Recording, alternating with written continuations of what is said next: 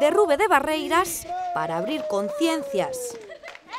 Con este xesto simbólico en Lugo remataban os actos de Raiolas polo Día Mundial do Autismo, unha xornada que pese ao mal tempo estivo protagonizada por diversos actos na capital. Más que nada para visibilizarnos, para que veamos que son niños que no, es decir, tienen una limitación, pero se pueden adaptar perfectamente a la vida cotidiana. Sacar a rúas as actividades, explicar, bueno, o que facemos, eh, en que consiste o trastorno, en fin, todo ese tipo de, de información.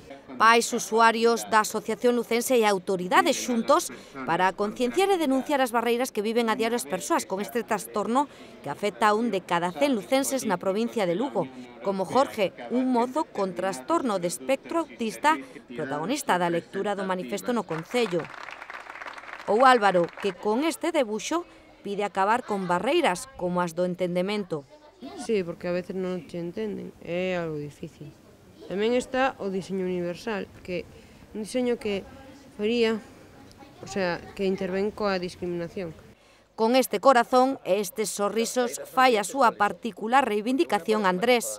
Que sean amigos míos. É que a xente non está concienciada no problema que ten un neno con autismo. Porque o meu, por exemplo, a mellor vai pola calle saltando, ou aleteando, ou, bueno, cousas que, que ves que é normal neles, pero a xente non o entende. E iso foi o que desde o colectivo tentaron achegar a xente este día con varios obradoiros. En estes talleres lo que se busca es que compartan un espacio, fomentar las relaciones entre ellos.